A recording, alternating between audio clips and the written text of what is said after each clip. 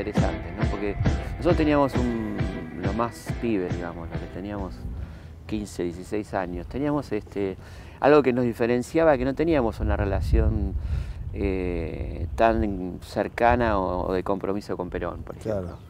Eh, teníamos más libertad para criticar a Perón, ¿no? Por lo nos sentíamos así. sí, claro, sí, sí, no tenían esa ligazón orgánica, digamos, del partido. Exactamente. Que hablaban del viejo y le podían decir el viejo.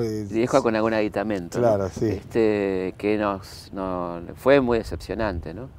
Ese último Perón fue muy, muy, decepcionante. ¿Y te toca el periodo universitario en plena dictadura militar? Sí, o sea, yo tuve una, una malhadada idea de estudiar sociología en el año 77. Era la boca del lobo, era, era tremendo. y aparte era horrible, porque era en la Facultad de Derecho. Eh, ya había renovado el plantel docente, sí, digamos, habían echado todo, el mundo y habían cambiado los planes.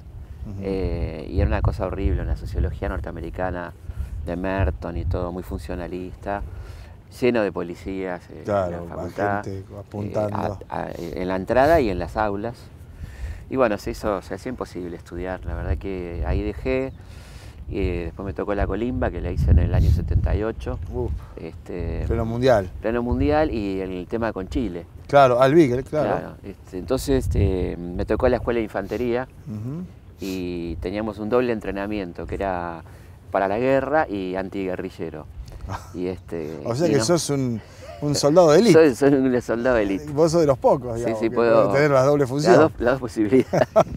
y era, la verdad que era un entrenamiento tremendo. Tuvimos ahí 40 días con un solo franco. Eh, nos mataron. Y, este, y varias veces fui preso por reírme, porque me había. Nadie hablaba.